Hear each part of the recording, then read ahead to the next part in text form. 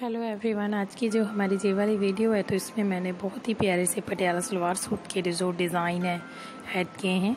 बहुत ही प्यारे से सूट हैं। स्टिच होने के बाद कैसे लगेंगे वो आपको वीडियो में मिल जाएँगे। तो वीडियो को फुल वॉच कीजिएगा। Thank you so much guys